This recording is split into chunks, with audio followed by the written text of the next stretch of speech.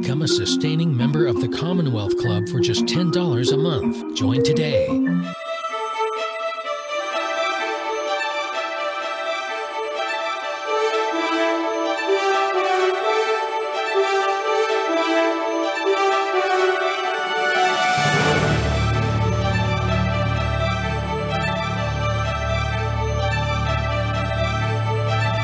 Good evening, everyone, and welcome to today's live streamed program with the Commonwealth Club of California. I'm Gloria Duffy, President and CEO of the club, and our chair for today's program. I'm very pleased to welcome our guests, Ayaan Hirsi Ali and Bari Weiss. Ms. Ali is a research fellow at Stanford University's Hoover Institution and author of the new book, Prey Immigration, Islam, and the Erosion of Women's Rights. In this, her third book, she examines police and immigration data to consider the sources of increased sexual violence against women in Europe. She makes a number of recommendations about improving asylum and immigration policies and better integrating new migrants into host country societies. Ms. Ali is the recipient of more than 20 prizes for her writing, public service, and human rights advocacy, including the Simone de Beauvoir Prize and the Goldwater Award, and she's one of Time Magazine's 100 most influential people in the world. Joining Ms. Ali in conversation this evening is Bari Weiss, a journalist, most recently of the New York Times, and author of the best selling book, How to Fight Anti Semitism. After their initial conversation, I will be asking Ms. Ali and Ms. Weiss your questions. Please write your questions in the text chat area on YouTube, and we'll get to them later in the program. Now I'm very pleased to welcome Ayaan Hirsi Ali and Bari Weiss, and I'll return later for the question program. Thank you so much, Dr. Duffy. Imagining that if you're in this conversation, that you might have seen some of the noise um, surrounding tonight's event. And I guess I want to speak briefly before we get into the conversation about that controversy and speak directly to all of you. We live in a world in which we insist that women are to be believed, that their lived experiences should be trusted. And yet those same people want to silence Ayaan for sharing hers. Never mind that she has survived the most evil forms of violence against women imaginable. We live in a moment in which we declare that Black Lives Matter. Yet Ayaan is a Black woman who has traveled under armed guard for more than a decade and a half due to credible death threats. And she is now being told that her mere voice puts people's lives in danger. We live in a world in which we are told that some speech is violence, and yet sounding the alarm on actual violence perpetrated against women and girls is met with accusation and denunciation. This isn't just hypocrisy.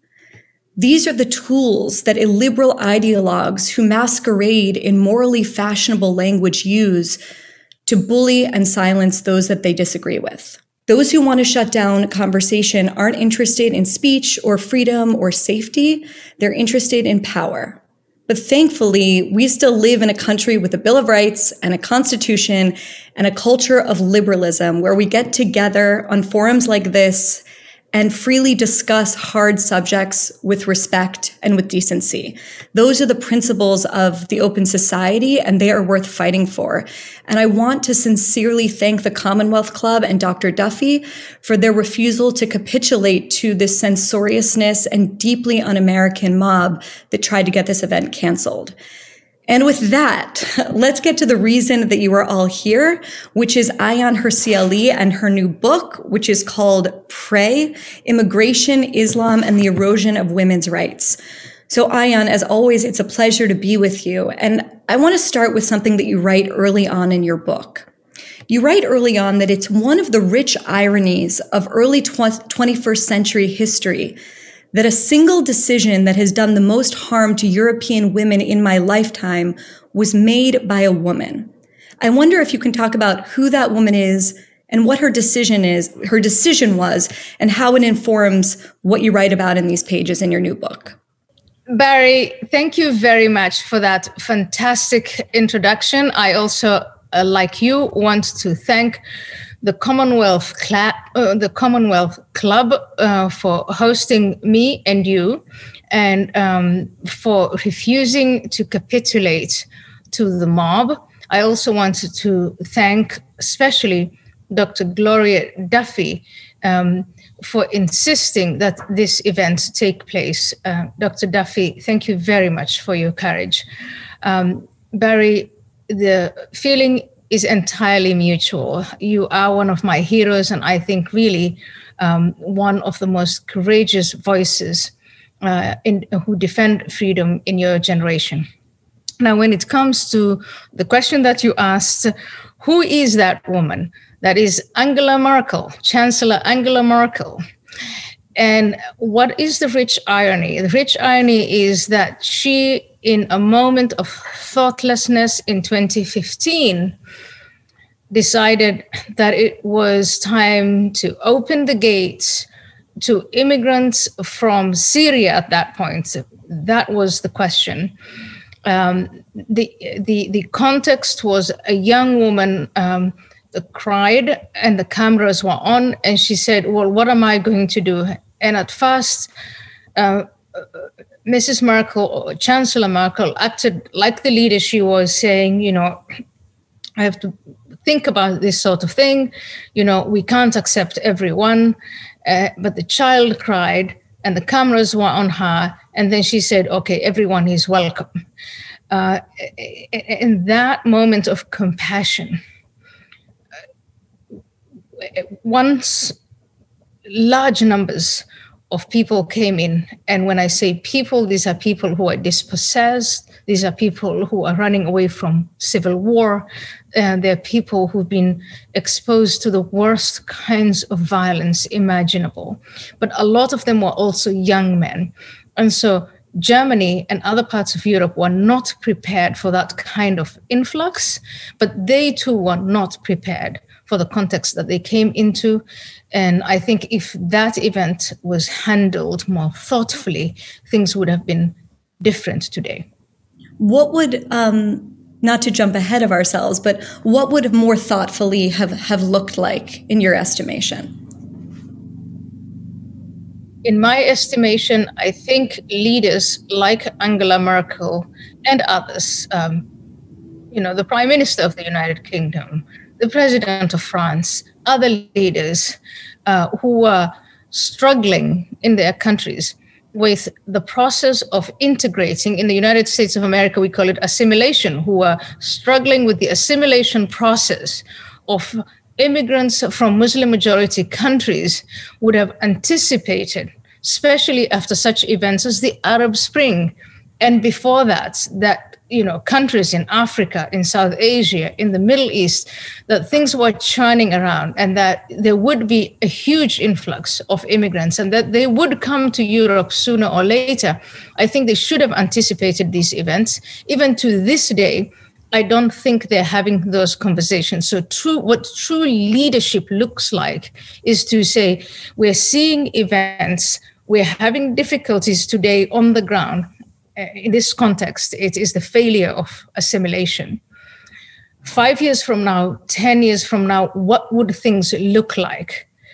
But then, if that moment arrives and you're overwhelmed and you have all the cameras gazing at you, in other words, the eyes of the world, and you want to look good and compassionate, and you make a thoughtless decision, what then happens is it starts to affect other people.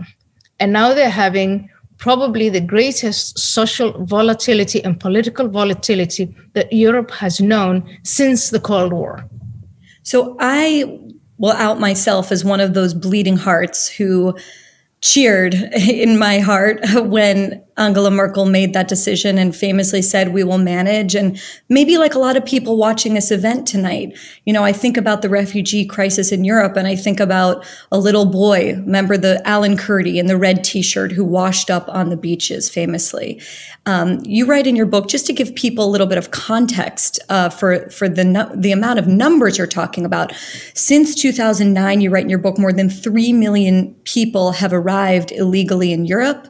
Um, more than two thirds of those immigrants are men, and most of the and the overwhelming majority of them are coming from countries where men and women, not just culturally but according to the law, are not equal. And and that's really the subject of your book is how to square um, the understandable compassion, I would say, that a lot of us felt and the sympathy for people fleeing countries like Syria with the ideas that people bring with themselves when they cross over the border. So take us a little bit more deeply into the book. Um, the subject of your book, the, the subtitle is the, the erosion of women's rights.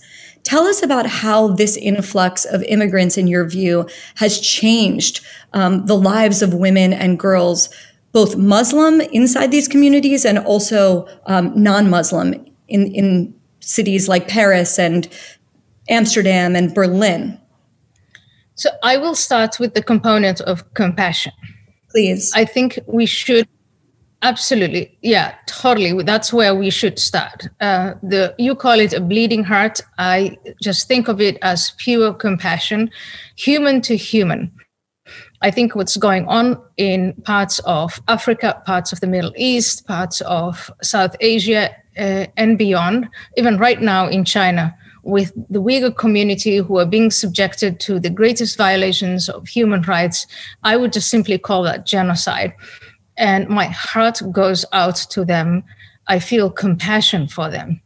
If you are a world leader and um, it is your job, you've been elected um, to express judgment to take the time to make the trade-offs between what is possible what is attainable. How do you um, how do you um, turn that compassion into a win-win not a zero-sum game but into a win-win uh, outcome? What would you do? That requires a lot of thought. It requires a lot of hard work. It requires the convening of a lot of world leaders, it, it requires you to compel others to say, this is a burden worth bearing and let's share that burden. When it comes to resources when it comes to uh, who are we going to allow in but what are we going to do in the countries of origin in terms of stabilizing them politically militarily economically that's not the conversations that the European leaders, the world leaders, the Western leaders, the rich countries were having. The conversations they were having in the past decade and a half, two decades, maybe even further, was, you know, I'm going to go after my own self interest. You go after your own self interest. People move around, wars take place, economic disruptions, and so on and somebody gets hurt in the process. And the subject of Prey is as these large numbers of people move from poor, unstable countries into supposedly rich countries, somebody gets hurt. And at first, it was immigrant women that were brought in and who were subjected to such things as female genital mutilation, child marriage, and so on. But today, there are neighborhoods with labels such as working class or low income or, or, social housing. They've got all sorts of euphemisms to say these are the lower class incomes, um, lower class communities. They are bearing the burden of the unintended consequences of migration. And the leaders, the Angela Merkels of this world, are standing in front of the cameras and virtue signaling that look we've shown a sense of compassion. We've let everyone in. You've let everyone in. But pe- when when things get disrupted when you when people's lives d- get disrupted who is bearing that burden and what are we doing about that? Well i think your book would argue that um, it's not just immigrant women inside these communities it's it's all women and girls in these surrounding societies who are pulling themselves back um, from the public square. And so, even though the laws haven't changed in a lot of these countries, you seem to be making the case that the cultural shift is so tremendous that the law is sort of neutered in the face of it. So maybe, Ayaan, you can tell us some, give us a little bit of color, give us some examples. One that comes to mind for me is what happened, I think it was New Year's Eve in Cologne in 2015. Um, tell us what happened that night and give us a few examples so that people who haven't read the book have a sense of the extent of what you mean when you talk about the erosion of women's rights, because you're not just talking about catcalling or groping in public, although that happens too. Well, Bari, with with your permission, I'll give you some color. I will read a passage uh, from the book. Um, it is an incident, an infamous incident um, that I think a lot of people in the audience are familiar with, but that they may have forgotten. Okay. And here goes. This is um, page 64 of Prey. A reckoning came in the German city of Cologne on New Year's Eve, December 31, 2015.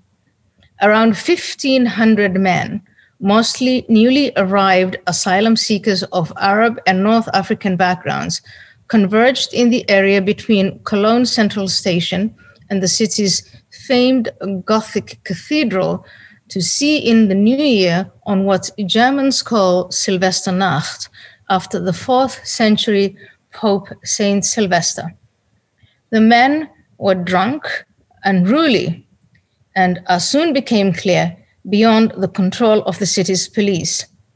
They mobbed together to entrap women in the square, sexually harassing and assaulting any they could get their hands on, often stealing their wallets and mobile phones in the process. In the following months, 661 women reported being victims of sexual attacks that night. Alice Schwarzer, one of Germany's leading feminists and a Cologne local, investigated the events of that evening, interviewing many of the women who had been attacked. They described being separated from their husbands and male friends and pushed inside hell circles of young migrant men. The men groped women and girls, no matter their age, appearance, or circumstances, grabbing their breasts and between their legs. One woman described several men trying to insert their fingers into her vagina. The only thing blocking them was the thick winter tights she was wearing. Some women were held by swarms of men for 30 minutes of continual assault. When they were eventually spat out of the crowd, some reported, and here's what kills me the police had deliberately looked away. Many women reported ongoing trauma and fear many months after the event. Yet, those who have spoken about what happened to them in public forums have been labeled racist for pointing out the ethnicity or migration status of their perpetrators and now often use pseudonyms when speaking about their experiences. That's the color. Statistics won't tell you that or those experiences. That is failed leadership. And when, as a leader, you stand there and you say, I have shown compassion, in fact, you have not. You have shown incompetence. Ayaan, in that specific instance that has resonated with me, I've thought about it a lot since I read the book.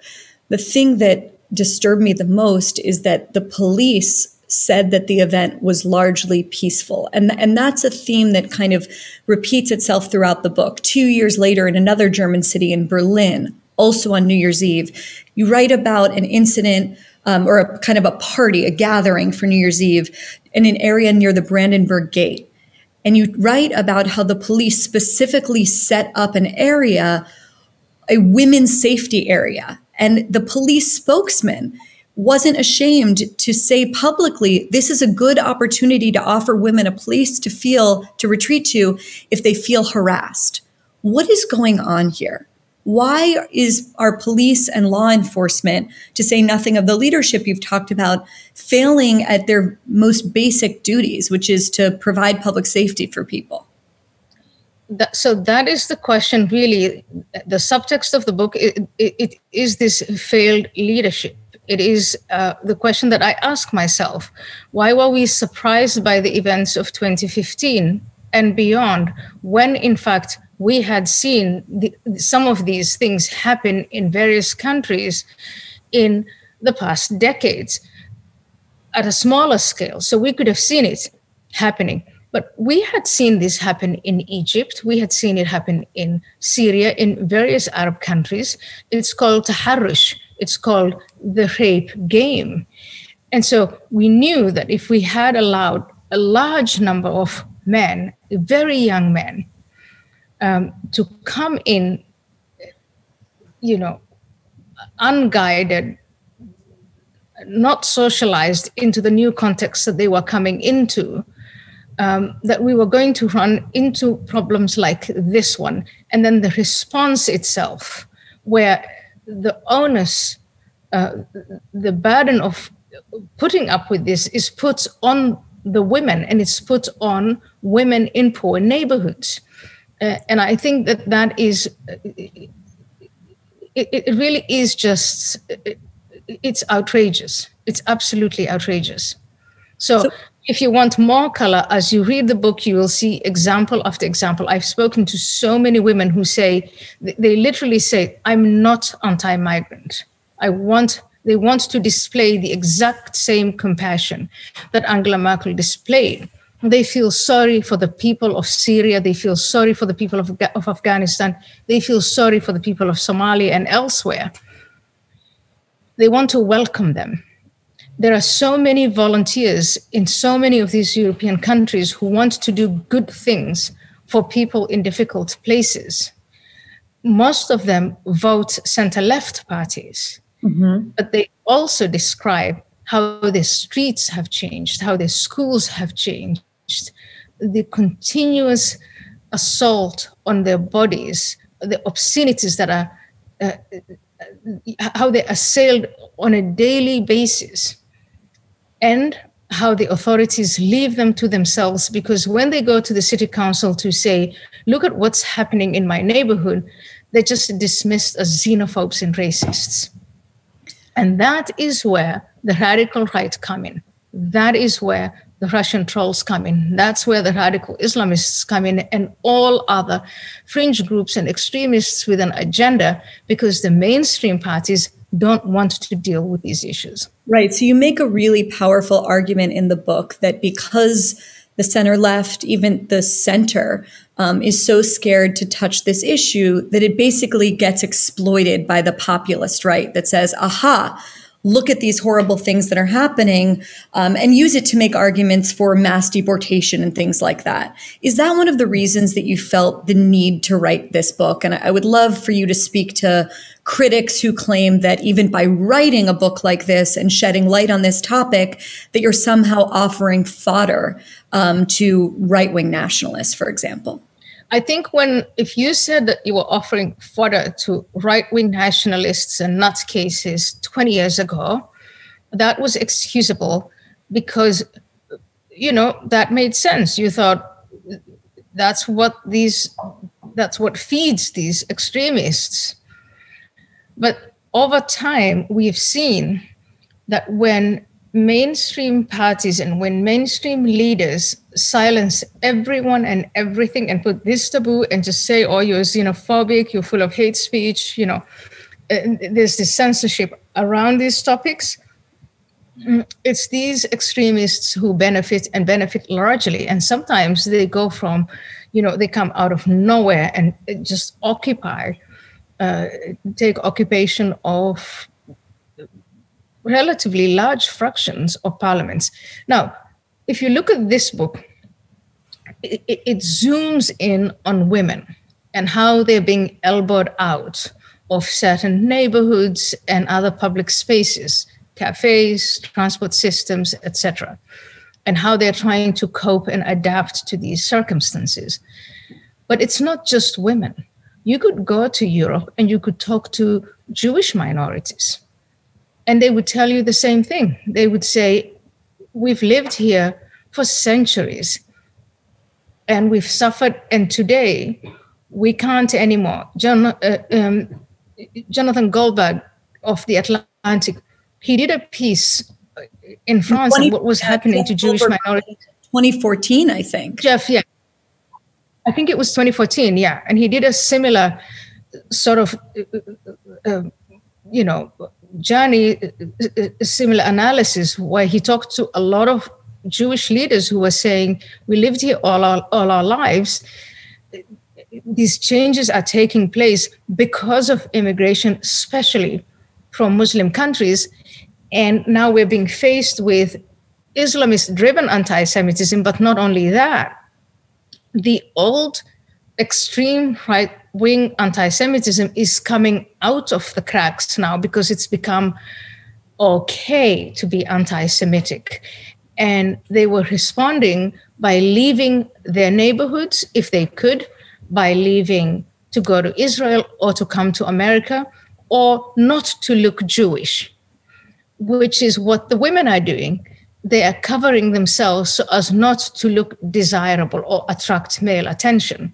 You could do the exact same um, portrait of what is going on when it comes to homosexuals.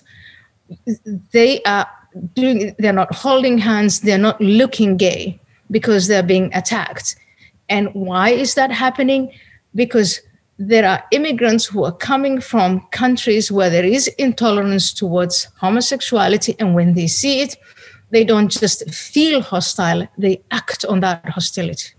And when it happens over and over and over again in your neighborhood people want to feel safe they're scared and so they start to delete themselves, they erase themselves out of their neighborhoods, cafes, you know, and there's more fear and there's more silence. So it's not just women, is what I wanted to say. So that I guess leads me to a question I've been thinking about a lot and not just in the context of your book, but I think more generally in the West right now, which is I've wanted to ask you if you feel that intersectionality, multiculturalism, cultural and moral relativism, the idea that all cultures are created equal, um, have they trumped um, the old notion of what I've been raised to think of as feminism or or women's rights? I think if you're a feminist and you knew about the subject of prey, you would be raising more than holy hell. Um, the question is do they know or do they want to know? Mm-hmm. Now, Me was very interesting. I thought it was inspiring because there were powerful men who were taking advantage of their positions on women in the working place. And for women to come out against that and say, this happened to me, and this happened to me, and that conduct has to stop, that was a good thing. But it came to a screeching halt. It didn't get to the women that I discuss in Prey. That is working class women. So, right now, there is no feminism that is defending working class women. Number one. Number two, yes, there is another kind of feminism, which I'm not, I don't object to it, but I wish it would become a bigger tent. It is the feminism that's been about you know, shattering the glass ceiling. We want women CEOs, we want women presidents, we want women chancellors, we want women. I think that's all fine. But right now, you know what I want? I want a feminism that goes to discuss and uh, start an activism to say, don't touch us in the public space don't grope us. We don't want to hear those lewd noises. We don't want to be raped. We don't want to be gang raped. And I don't care what our income is. And I don't care if we're immigrant women or white women. I don't care if we're working class or what the heck. And I don't give two hoots about who the perpetrator is. A rapist is a rapist. And I don't care if he's a rich white man, and I don't care if he is a poor Syrian refugee. A rapist is a rapist. You can explain it, but you can't excuse it. We need that kind of feminism.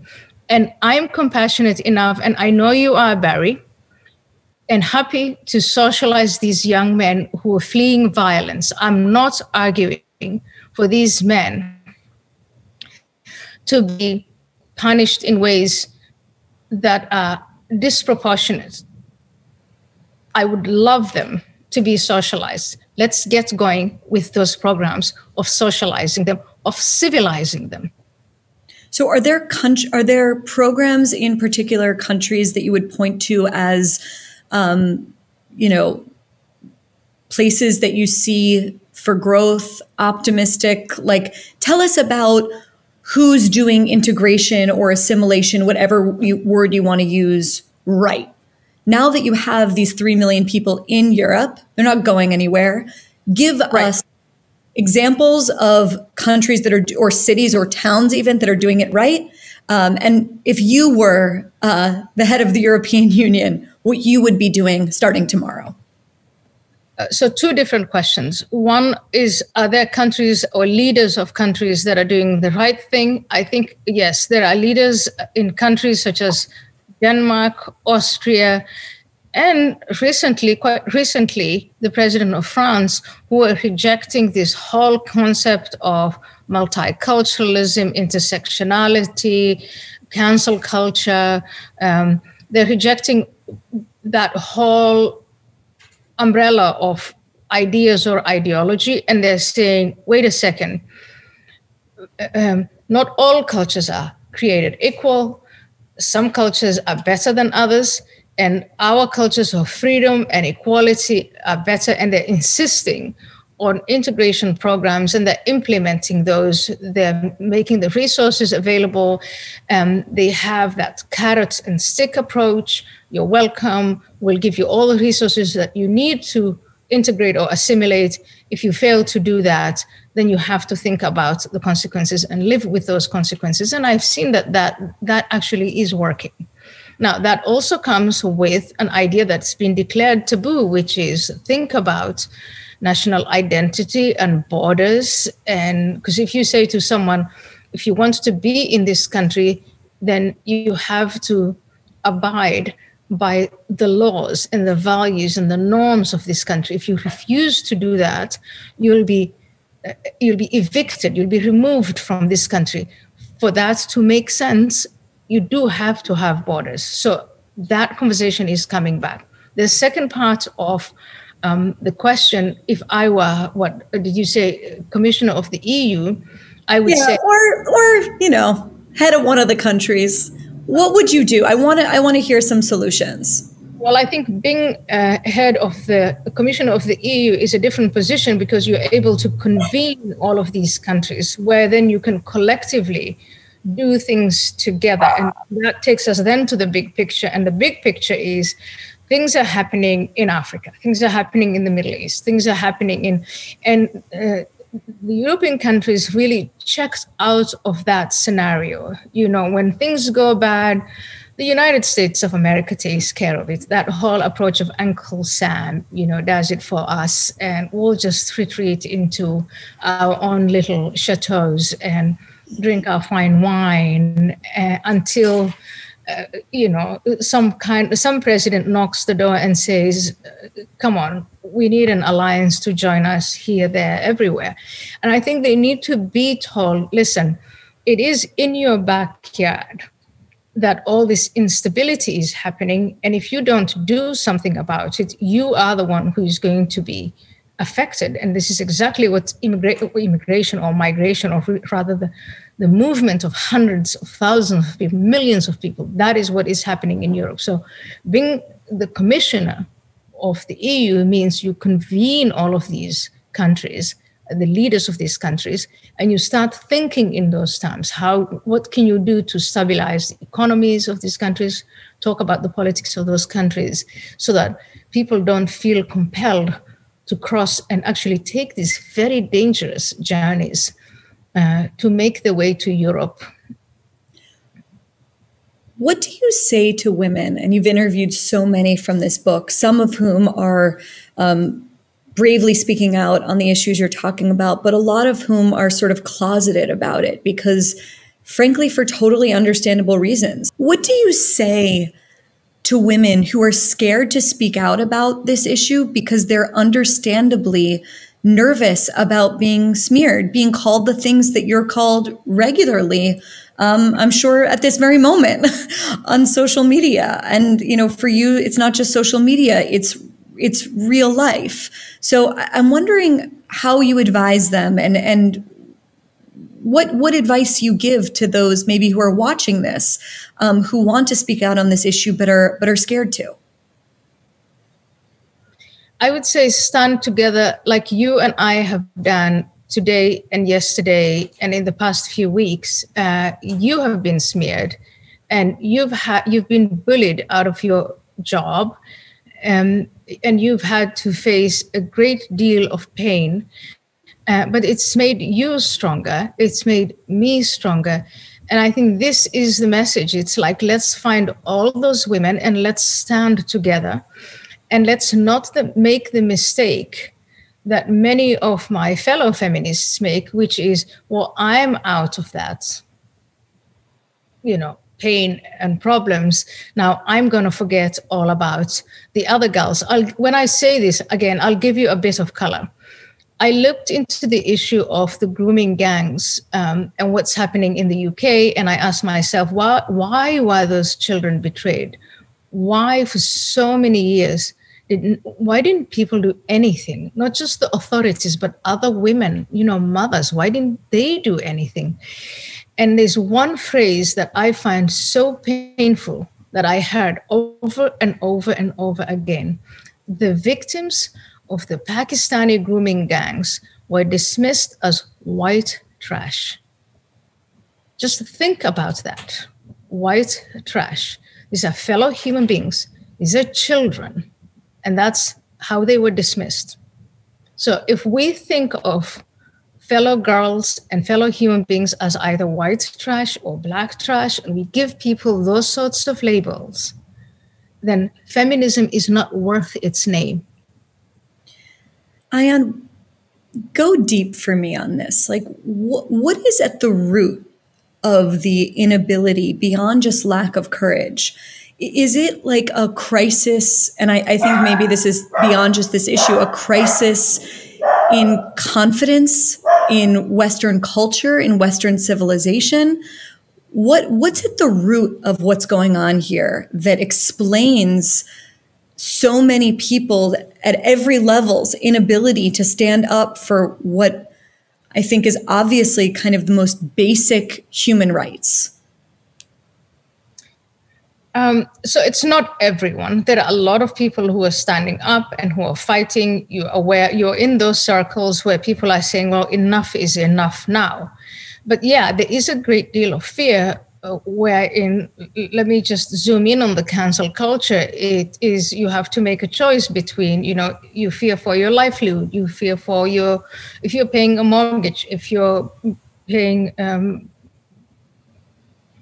fees, college fees for your kids, um, if you want to be invited to all sorts of things for your colleagues in your neighborhoods, you don't want to come out and be uh, the spoil spot, um, the rabble rouser. And so I think uh, between fears uh, that have to do with, um, you know, being socially ostracized or economic consequences, um, and sometimes even physical fear. Um, this is what I've endured and still do, and others do.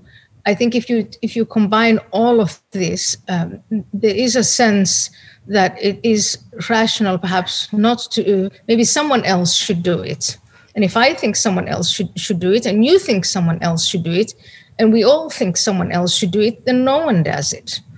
And uh, uh, besides that, yes, there's also uh, undoubtedly a crisis of confidence uh, because there's this demand that we in the Western civilization atone for what happened in the past.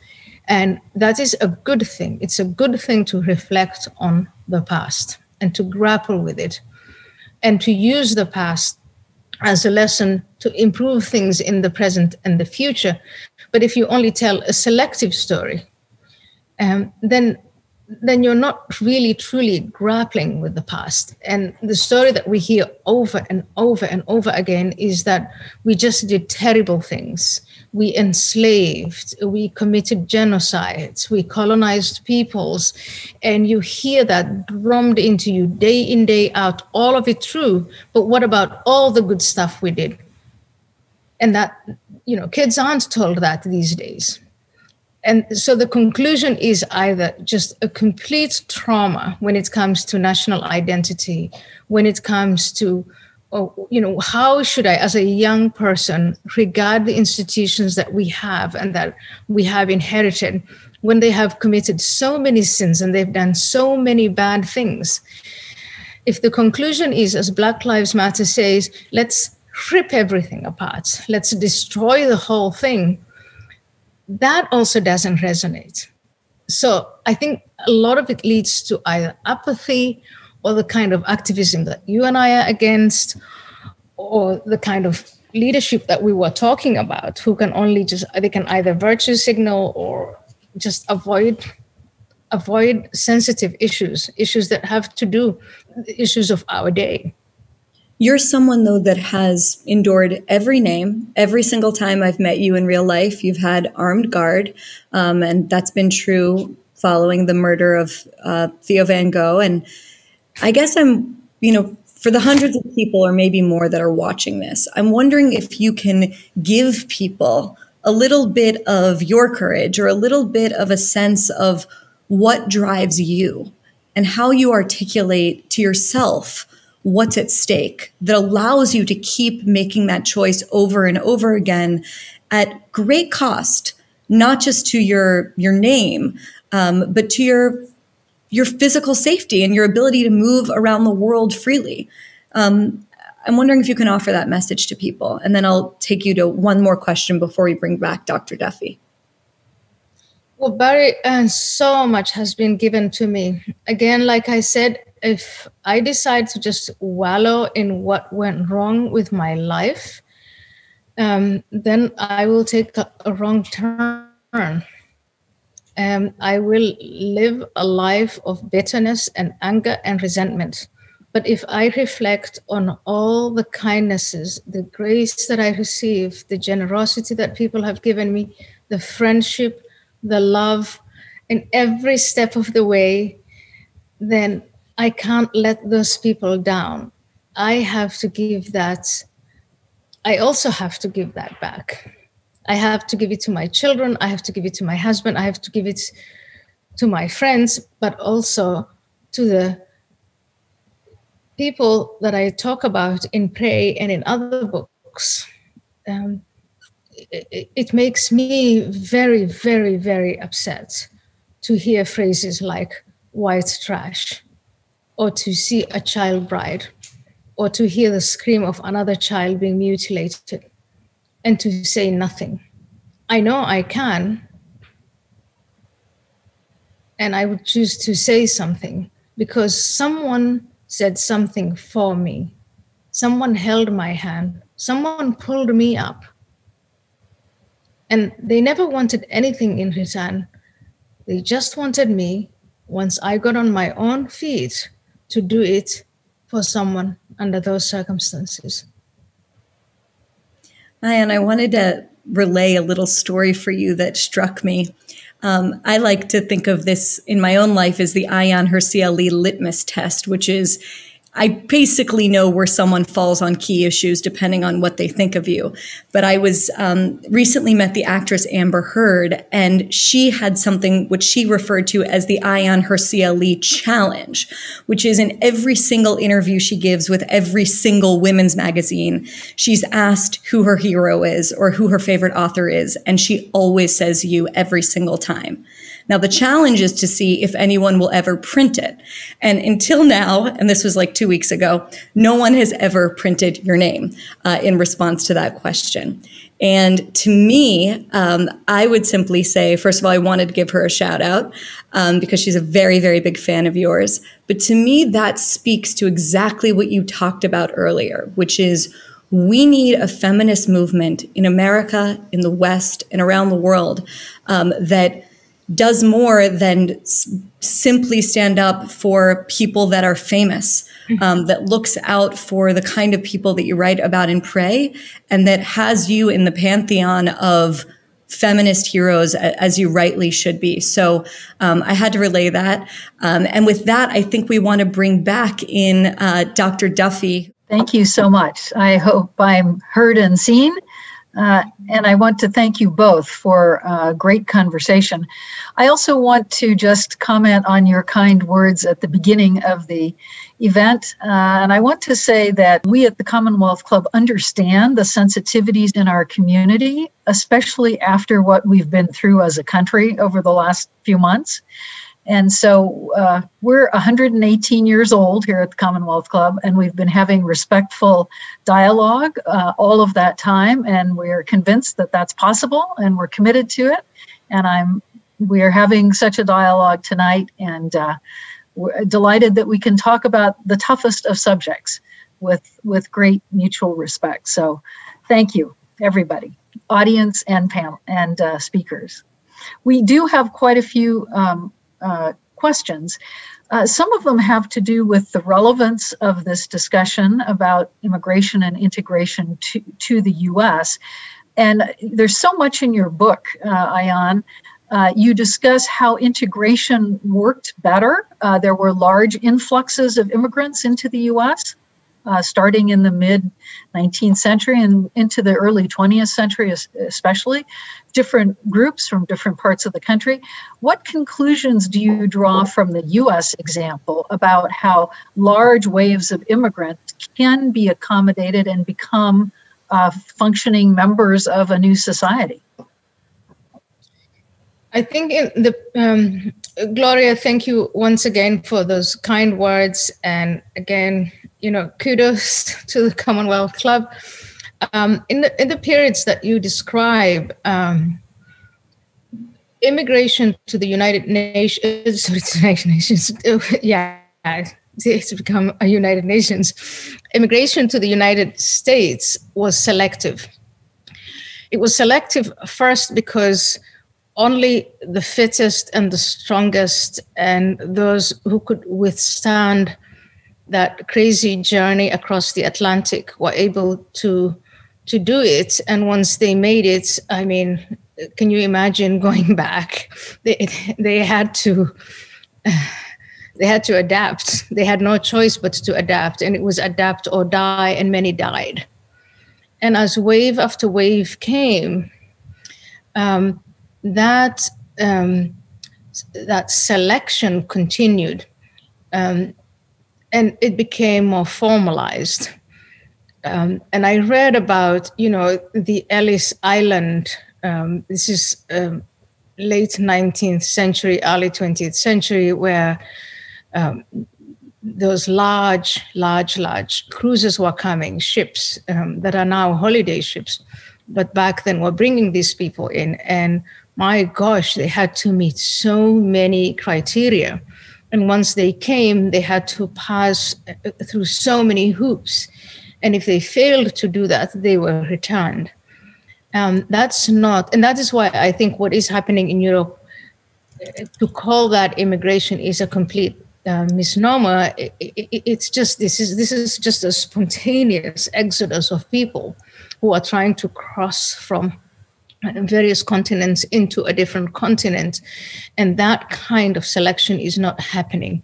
The the sort of the natural selection is happening. If you can cross the mediterranean uh, and make it to the other side and you're still alive that happens. You're part of the strongest. But when it comes to that you know are you going to fit in? Can you work? What are you going to do? Who's going to pay for you? That sort of thing. Um, that's really not what's happening. And I think that those people who compare why American immigration is a success and why immigration, especially from Muslim countries, is a failure, I think they haven't really looked deep into these differences. I really like the latter part of your book where you talk about solutions and uh, really focus on better integration and better support for the immigrant communities. Uh, could you talk in a little more detail? Uh, for instance, the type of interviews that are done for asylum, focusing more on how people are suited to adapt to the new country that they're coming into, as opposed to where they came from or how they got there. I think in Europe, uh, we waste a lot of resources on trying to figure out whether you qualify for asylum or not, um, when in fact it is quite clear. Um, let me give you an example. A country like Syria breaks down, but you are sitting two, three, four hours, sometimes days, with a civil servant who is asking you, um, Are you the victim? Of persecution by a government. I mean, you would think, dear civil servant, do you ever read the news? You know, where do you live? How could you possibly be asking these questions? So the questions were designed for people who were fleeing the Cold War. They were on the other side of the wall. And those exact same questions are still in place for situations such as Syria or Afghanistan or Somalia or Eritrea, where people are not saying that they're that they're personally persecuted by a particular administration, um, or that they are holding nuclear secrets, uh, that they're all Solzhenitsyns. That's not the story. The story is my entire government broke down. It's a man eats man situation. We all fled and the strongest of us came here because we were told by family members that if you go to Europe, there is a chance at starting a new life. And that is the conversation that we should be having. You're welcome to start a new life, but let's see can you do it? Here are the conditions. And I wish that they would stop demonizing what they call economic migrants, which is what America did not do. Actually, America welcomed and still does and should welcome economic migrants. That is the difference. And so I think there's, there should be a shift, a paradigm shift in the way Europe approaches immigration and do it more the way America does it. And then for the larger group that can't be because it's overwhelming. I mean, the number of people who want to come to Europe are way, way bigger than uh, the number of people that they can actually accommodate. That is then the subject of foreign policy and and not just the foreign policy of one country, that is global policy. Several people in our audience are wondering what the impact of COVID has been. Has it reduced migration? Has it in any way improved or affected the lives of women?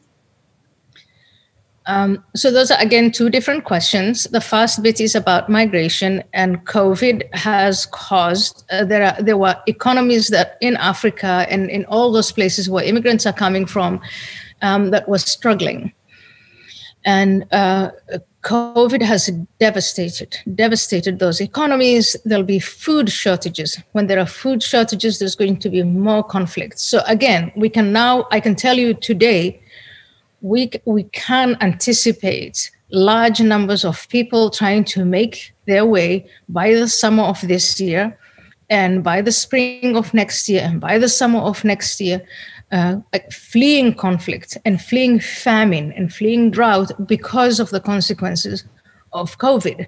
And Europeans should be able to anticipate that and start doing something about it now, now, not when they all arrive and the cameras are on the leader and say, okay, help, let them in. Um, one person uh, is going back to your comments about policing and the lack of enforcement of protections of women. Um, and the question is, how do you what do you think about the debate about defunding police or, or replacing police services with less traditional types of uh, community safety approaches? I think when you say things like defund the police, what you're saying is you want a total breakdown of law and order And where there is a total breakdown of law and order, you get situations like what we've been talking about Syria, Somalia. In fact, sometimes I get so frustrated. I say, if you don't want to have a police force, go, you know, visit Somalia for some time, live there for a few months, come report back. Um, so, defunding the police is a desire, a utopic desire that leads nowhere. It's a, it is a complete breakdown of law and order. Now, an institution like the police can go wrong in some ways. And so instead of the slogan being defund the police, I think it should be reform the police. And to reform the police, then you have to absolutely articulate what it is that the police is doing wrong. And there are so many people who are working at that. In the past few years, we have seen demands for them to carry cameras to hold them accountable.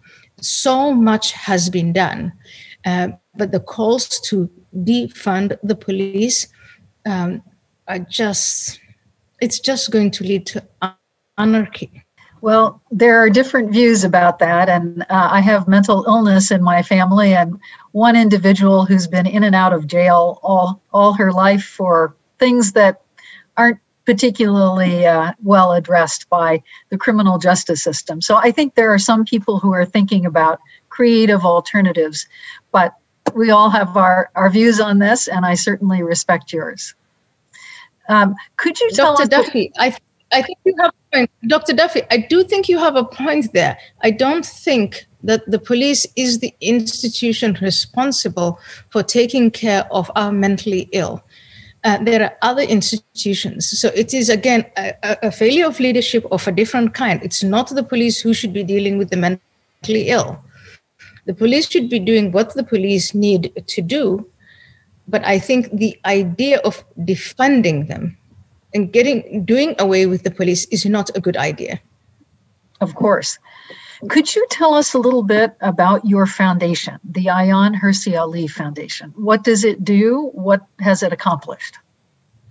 Um, the Ayaan Hirsi Ali Foundation defends the rights of women and children, and Bari and I were just talking about uh, that who don't have a voice for themselves. So these are victims of female genital mutilation, um, child marriage, forced marriage, honor violence, uh, what have we achieved? Um, we have lobbied. Um, I'm not sure we're actually allowed to use the word lobby, but we have uh, tried to get through legislation to outlaw female genital mutilation in all states. Uh, we have tried and succeeded in bringing back children who were abducted from the United States of America through the State Department uh, got them back, and these children were being forced into marriages that they didn't want their children. Um, we have helped prosecute and prosecutors uh, to go after um, uh, perpetrators of honor killings. These are fathers and brothers and other relatives who have murdered their female relatives because they claim that their honors were violated. We train service providers, uh, that is, social workers, women, uh, people who work in the domestic violence sector, into we, we, we talk to them about these are specific um, domestic violences that affect these women. Uh, and it's a domestic violence that is justified in the name of culture and religion. And that's what we do. And we do it across the country. And to our audience tonight, uh, please go to ayaanhirsiali.org. W, that is the AHA Foundation, and uh, check it out. Give what you can. And uh, has there not been some recent success in the legislation against female genital mutilation at the end of last year, if I recall? Uh, yes, there has, and not only that. I mean, there's also a process that's ongoing that I'm not yet allowed to talk about because it might affect the outcome. One other interesting approach um, to immigration, I believe, has been by the Justin Trudeau government in Canada, which is to favor women in immigration, uh, in asylum and immigration, to try to um, redress the balance and uh, add more women to the stream of, of immigrants. Uh, what do you think about a strategy like that?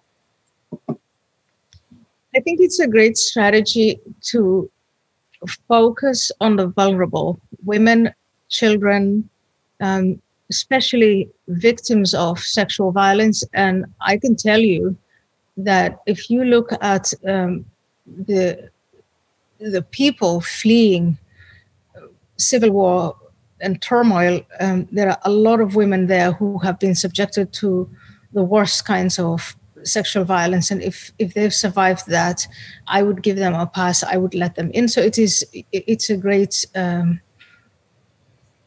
it's a great gesture um, and it's welcome and i'm thankful for that um, so what about international and global organizations? We do have a UN High Commissioner for, for Refugees. What about the global uh, structure of organizations that are supposed to be helping and protecting migrants and so on? What are they doing? Uh, do they have a role to play in the problems like you've identified? They, they do have a role to play, and they have been playing that role, but they're overwhelmed they're under resourced. And again, I go back to world leaders having to really convene and come up with a plan where they can work with these organizations, uh, United Nations organizations, and other NGOs to help people stay in their countries of origins by helping them um, build the institutions that they need to get them to a place of political stability and economic stability so that you don't have these mass exoduses of people that not only come away from unstable countries, but along the way destabilize uh, every place that they go to. So it, that's the big question of our time. So I think we're getting close to the end of our program. And again, thank you both so much. I'd like to ask both of you uh, one last question, which is what brief life changing advice would you give to a little girl today about her path in life and how to conduct herself? Live your life out loud. You only have one life. Um, and I think the choice to be out and proud about who you are, um, regardless of what other people call you, um, can bring incredible joy and meaning to your life. And joy and meaning and being aligned, even with a small group of people that share your values, is way more important than being invited to sit with the popular girls. That's the advice I would give. That's absolutely very wise. And the only thing I can add to is be resilient. Um, when love, true love, is given to you by people uh, who who really mean it, not the popular girls, as Bari said, or the popular boys, uh, but the real thing. Accept it, and when you get an opportunity to pass that on, do it. Thank you both for that wise advice to your younger selves, my younger self, and all, all the little girls out there. Our thanks to Ayaan Hirsi Ali, author of the new book, Prey Immigration, Islam, and the Erosion of Women's Rights, and Bari Weiss, author of How to Fight Anti Semitism, for joining us today at the Commonwealth Club. Both books are out, they're available wherever books are sold. Make sure you pick up a copy. To our audience, thank you so much for watching and participating live. If you'd like to watch more programs or support the Commonwealth Club's virtual programming, visit commonwealthclub.org slash online. I'm Gloria Duffy, um, uh, grateful for respectful dialogue uh, every day, tonight and every day at the Commonwealth Club. Thank you. Stay safe, everyone. Take good care.